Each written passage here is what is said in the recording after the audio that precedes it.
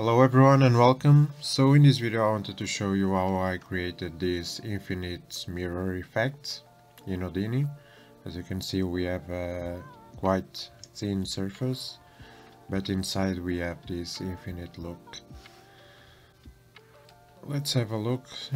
First I'm creating the text and that's easy enough just with a font then extrude it, place it in the center then I'm grouping the, the front and back primitives and splitting them here.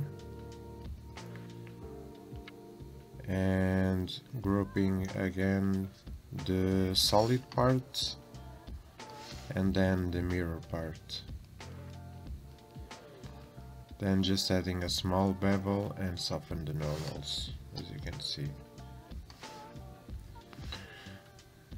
Then for the material, that's where the magic happens.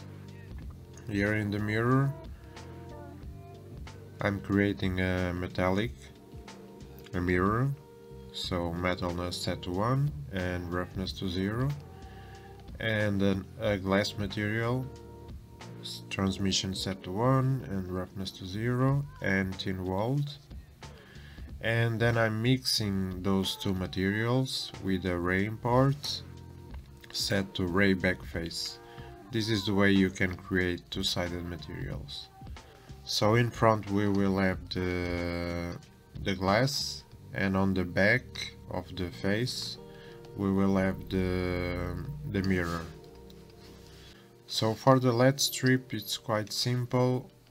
I'm just importing the, the text keeping just one of the primitives converting it to curves and then splitting them here by perimeter so I can work on both sides and then extruding a bit in so I can place the, the LED strip not uh, necessarily adjacent to the to the text.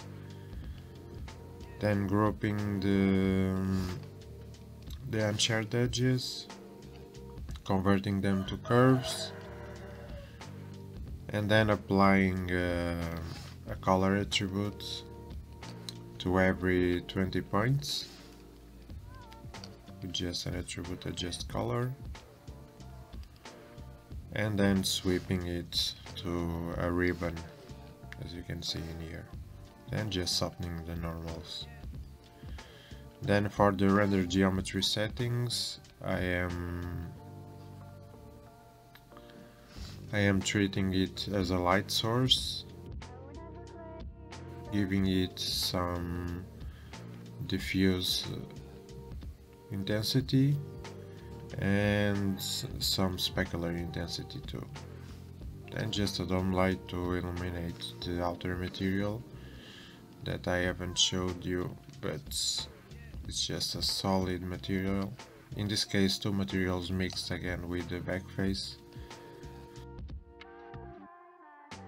One is more rough and the other one is less rough so if we render every, everything we should get something like this. The infinite look.